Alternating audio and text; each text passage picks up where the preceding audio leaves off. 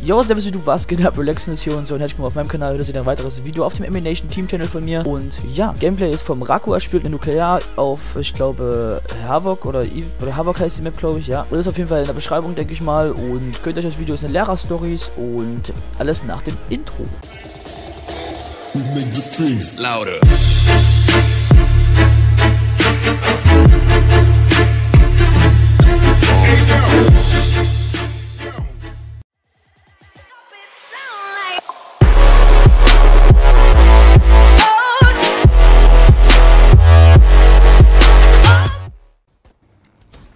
Hört mal so eine kleine Story. Hatte ich eben gerade Elternsprechstunde, ne? Jeder kennt es. Jeder kennt es und jeder hasst es, ja. Jeder hasst einfach die Elternsprechstunde. Wenn euer Lehrer meint, hm, Tim, den Tim, den fucken wir mal richtig ab, weißt du, den laden wir mal seine Mutter ein zum Elternsprechtag. Nice! Das ist auf jeden Fall ein Goal für, für die Lehrerin, ja. Ähm, weil ähm, das ist eigentlich immer der Punkt, an dem die Lehrer euren Eltern möglichst viel Scheiße über euch erzählen können. Ja, so ist es aber einfach. Und so war es halt bei mir heute mal nicht. Dazu komme ich auch gleich noch. Äh, jedenfalls war es bei mir eigentlich immer damals so, weil bei mir immer, ist immer, ist es immer das Verhalten gewesen bei mir. Weil ich bin eigentlich ein Mensch, der, äh, wenn er keinen Bock mehr hat, dann relativ laut wird. Also es ist laut. Äh, ich suche dann halt Gespräche mit meinen Mitschülern sozusagen. Und es ist einfach so, dass ich jemand bin, der, der sich relativ schnell ablenken lässt. Das gebe ich auch wirklich zu. Aber es ist einfach so krass, dass dass äh, die Lehrer dann in den Elterngesprächen meistens nur Scheiße über ihn labern. Nur. Das war auch schon mal so bei meiner anderen Lehrerin, meiner Chemielehrerin. Ihren Namen werde ich nicht nennen, ist ja klar. Nennen wir sie mal Frau Fotze.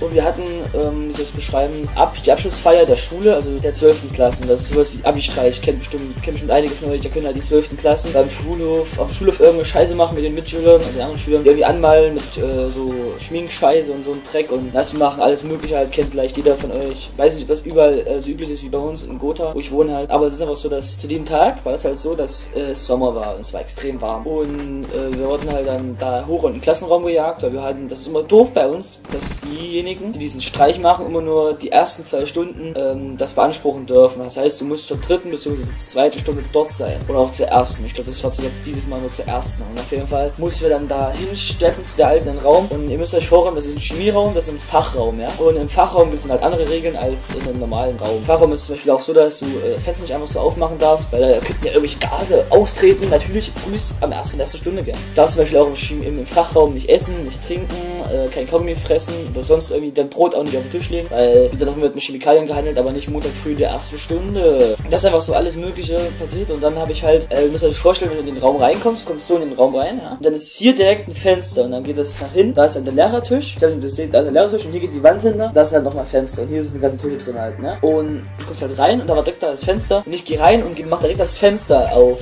also kipp's an, mach danach auch auf und da hat sie mich schon so angekickt, geguckt, äh, ich auf der Hinter zu meinem Platz, setzt mein, stell meinen Ranzen halt hin und sagst so, fragst sie so, ob ich noch ein Fenster aufmachen dürfte, weil es zu warm ist, ne? So, und dann meint sie, nee, setz dich jetzt sofort hin, was erlaubst du dir überhaupt? Äh, ba, ba. Nimmt die mich übelst zu, gell? Und dann später im Unterricht droht sie halt bei jeder Kleinigkeit, bei jeder Kleinigkeit meine Mutti anzurufen.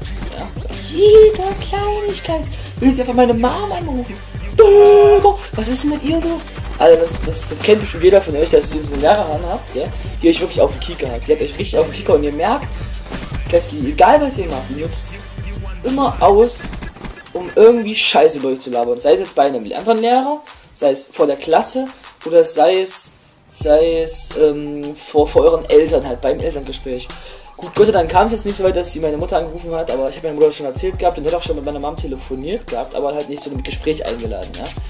Und das Glückliche ist, mein Dad wusste da auch Bescheid und mein Dad habe ich das auch erzählt und mein Dad ähm, ist so auf der anderen Schiene, der meint, äh, irgendwelche dummen Behauptungen kommen gar nicht in Frage. Das heißt, ähm, ich, äh, sagen, jetzt ein Lehrer Scheiße labert, wo er genau weiß, ich war das nicht, dann steht er auf meiner Seite und da kam es dann dazu, dass diese Frau Fötze, wie wir sie nannten, angerufen hat und mein Dad zufällig ans Telefon gegangen ist. Und ja, diese Frau Fötze hat halt dann ihren Anschluss bekommen, so wie sie ihn verdient hat, ja. Also das ist einfach so. Und ja, also so bin ich einfach relativ gut rausgekommen aus der Sache mit dem Elterngespräch. Wie gesagt, heute hatte ich eins, das war äh, relativ überraschend, weil es, da ging es wirklich nur um mein Verhalten, nicht um irgendwelche Noten oder so.